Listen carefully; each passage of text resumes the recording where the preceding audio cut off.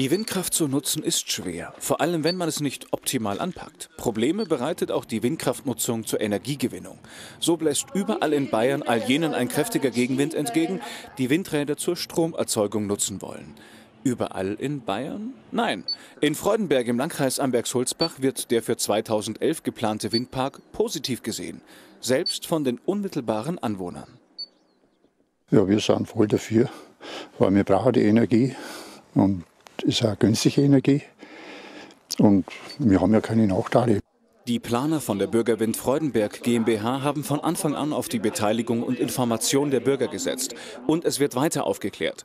Jetzt hat sogar die Volkshochschule zu einer Windexkursion an den geplanten Standort eingeladen.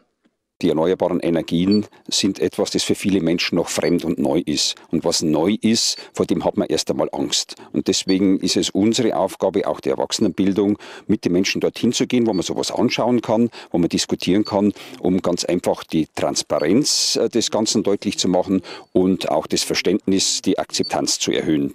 Auf der Anhöhe über Freudenberg wird derzeit geforscht. Ein Windmessmast und ein Schallwellenmessgerät bestimmen die zu erwartende Windmenge. Gleichzeitig wird die Artenschutzverträglichkeit untersucht. Der Bürger soll alle Fakten kennen.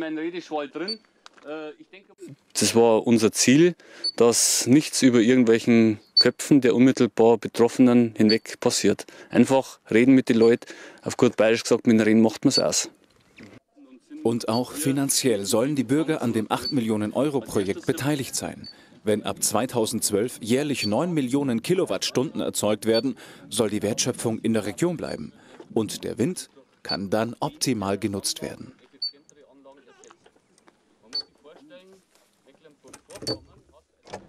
Ein Bildpoet, unser Gerhard.